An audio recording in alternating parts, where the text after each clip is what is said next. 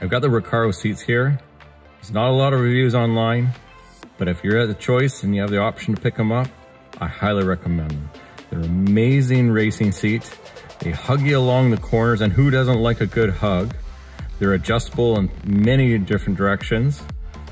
They come leather stitch, which goes complementary with the car. In my case, I got the blue accent package, so they got the, the blue accent stitch, which looks incredible. It just ties the, the vehicle together. It allows you to apply a crosshatch seat belt to it, which is amazing for the track days. At the end of the day, they just are an amazing seat. They're very comfortable. And again, for the $1,800 option upgrade, I highly recommend them guys.